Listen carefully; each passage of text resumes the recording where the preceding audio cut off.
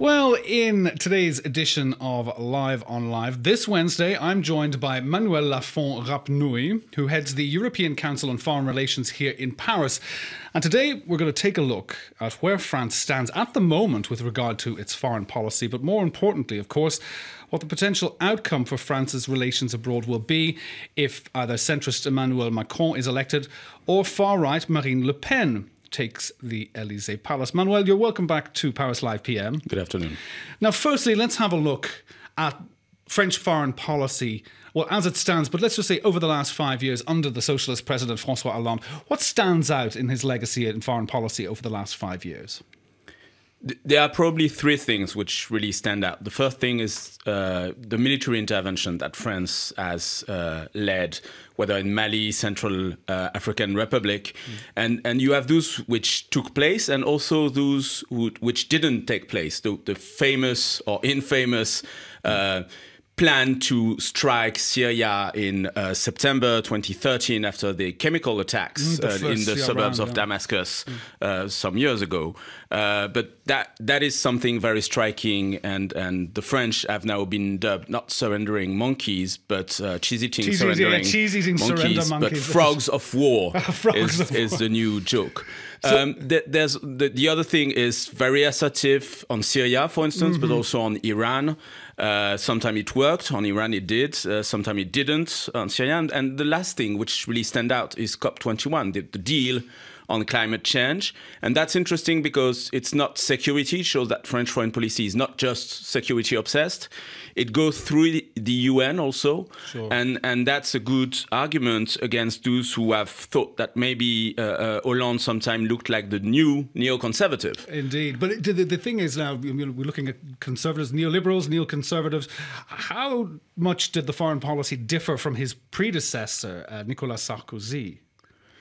There is one thing which was make, it situational was it because, exactly yeah. there's one thing which make them very different it's the situation was mm. very different mm. um, sarkozy's term was dominated by the economic crisis sure. very much and and uh, Hollande has been uh, dominated by security threats. So mm. that that's a big difference. There's also a difference in style, and in foreign policy, style is often uh, substance. Um, but but there are key common challenges. The one very interesting case is Libya because that was at the end of Sarkozy's term, and it did push very much for the decision to intervene militarily.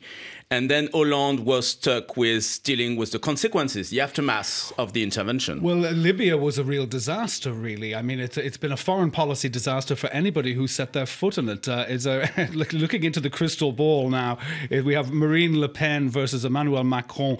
What are the big strategy differences that we're going to see between these people?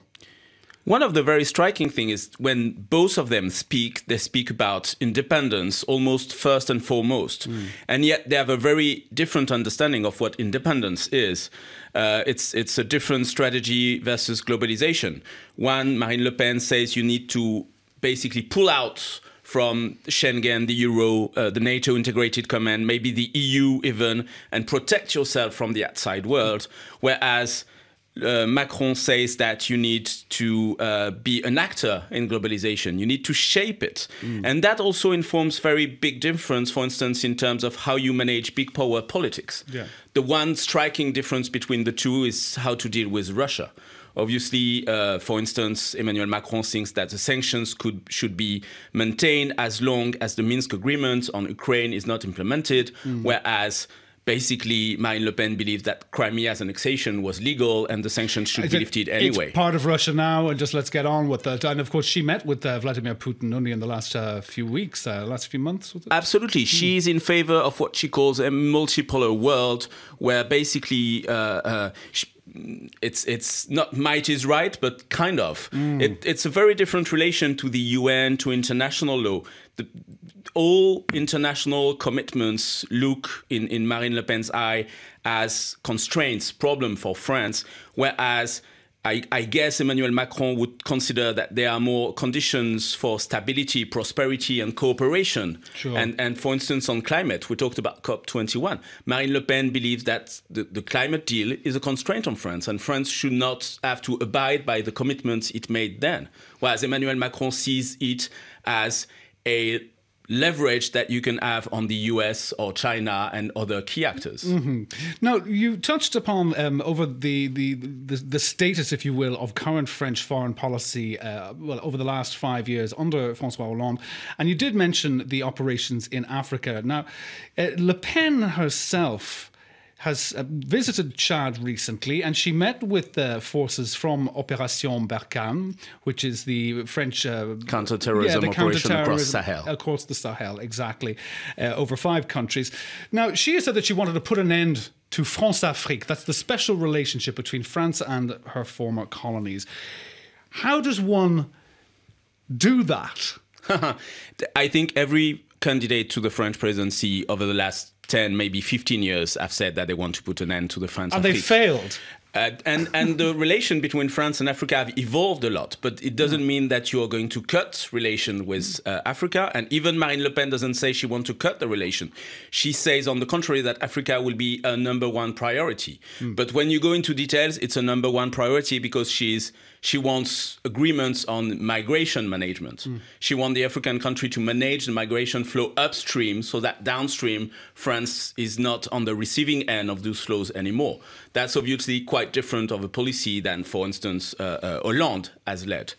Uh, so how do you do that? Well, she says I, I don't want to interfere with domestic African affairs. Mm. The Africans uh, have to deal with their own stuff, and African leaders will be my interlocutors, and that's it. And that actually looks very much like Françafrique, where the key interlocutors were just the head of states and head of governments and civil society, uh, the, the, people, uh, all the NGOs, local NGOs, the opposition parties, the human rights advocates were actually not so much interlocutors. And mm -hmm. one way that you can change politics is precisely that you broaden the scope of your interlocutors and you open the door and the transparency on the kind of relation that you have with those African countries. Okay. And also you focus less on just French-speaking Africa and have a kind of a broader cross across the board African policy. Indeed. Now let's look um, a bit closer to home here. I mean, we all we know about uh, Le Pen's platform. It's a, it's far right. It's very much um, it's one could say France first.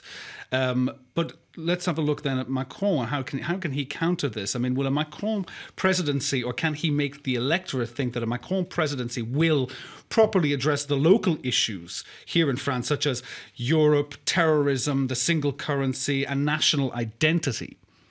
The first challenge for Macron, if ever is elected president and actually gets a majority in parliament, which is another uh, important condition for him to be able to to do what he has in mind is that those concerns are not shared. They're not the same across the board of, of the French voters. Sure. Voters are very ambivalent. Uh, uh, almost 80% of them are in favor of staying in the euro and yet, with Mélenchon and Le Pen, you have almost 40% of them who are willing to vote for someone in the first round who may open the risk of withdrawing from the euro. So that that's a bit difficult, uh, a bit one of the difficulties for President uh, Macron or any president actually on how to deal with it.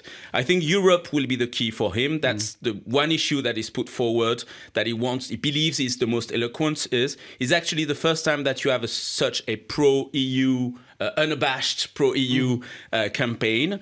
Um, but himself acknowledges in what he says about it that there's a lot to change. There's a lot to change about the institutions, about the austerity policy, um, about how to democratize and how Europe can help protect the people. And, and there's definitely a key challenge for him, which is how to address the losers of globalization. Mm -hmm. Now, Manuel, we're running out of time here. We've only got about 45 seconds left. I just want a very quick question. Is Macron the great white hope for the EU 27, and is Le Pen the great dark knight that could destroy it? I, I am sure that for pro EU people, Macron's election would probably save them from the potentially fatal blow that Frexit would be, whereas Marine Le Pen seems to be the, the most compelling advocate of Frexit. But he's not going to be a solution to all the EU uh, related issues. There will still be disagreements within the EU on the institution, on austerity policy, etc. And, and that will be a big problem for him to solve. Thank you very much, Emmanuel Lafont uh, Rapnouil uh, from the European Council on Foreign Relations here in Paris. Thank you for being on the program today and from all us here Thank at you. Paris Live PM. Have a good day. Bye bye.